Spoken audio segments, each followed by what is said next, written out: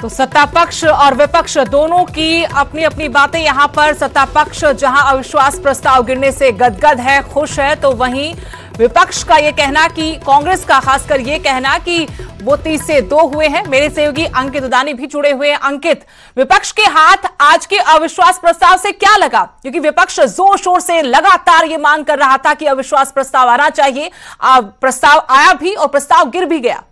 बिल्कुल, शोर शराबा ही कहीं ना कहीं हाथ लगा है और कहीं ना कहीं जो बात कही जा रही है कि एक्सपोज जो करने का विधायकों को तो कहीं ना कहीं एक्सपोज ज़रूर हुए हैं विधायक, क्योंकि लगातार किसानों की बात कर रहे थे और वोट जो किया, वो कहा कि कांग्रेस का प्रस्ताव था, ना कि किसानों का प्रस्ताव था। हमारे साथ बातचीत करने के लिए शिक्षा मंत्री एवं संसदीय कार्य मंत्री कंवरपाल गुज्जर है, उनसे बातचीत करते हैं।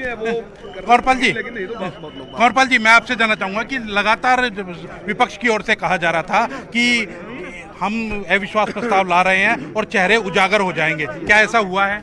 नहीं बिल्कुल मैंने आपसे पहले भी कहा था कि जनता का विश्वास भी, राउस का विश्वास भी सरकार के प्रति पूरा है और उन्होंने केवल खबरों में रहने के लिए इस विषय को लेके आए थे वो।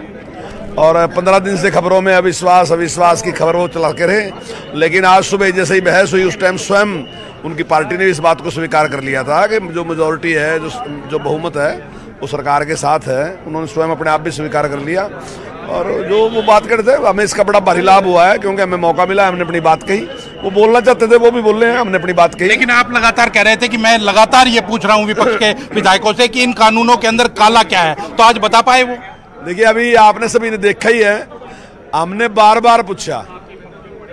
चाहे कोई सा भी मेंबर बोलिया जो उनके सीनियर मेंबर थे हमने सारों से पूछा है कि आप कृपया बताया दें कि कानून में कमी क्या है। कानून में काड़ा क्या है? किसान के खिलाफ क्या है? लेकिन वो किसी बात का जवाब नहीं दे सके।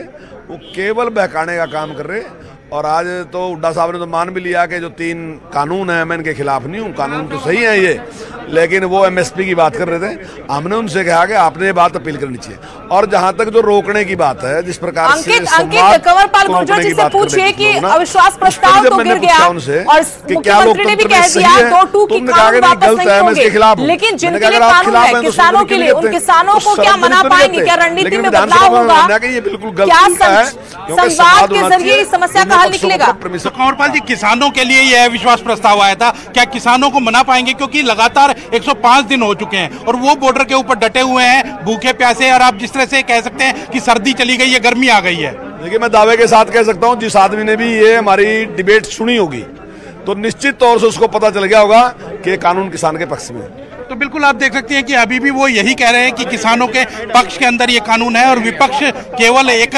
ड्रामा करने के लिए और एक सुर्खियाँ बनाने के लिए ये कानून लेकर के आया था।